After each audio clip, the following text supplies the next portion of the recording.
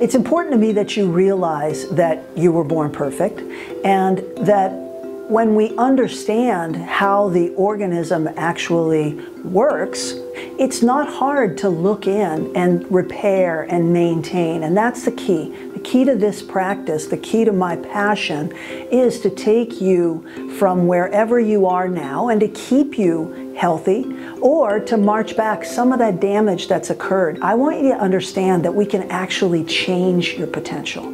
We have the technology, especially now when we have lots of regenerative medicine tools um, coming. I have exostem technology. It is very safe to say that all of us have some degree of cellular imbalance that if we look in early and we repair, we can avoid disease forever.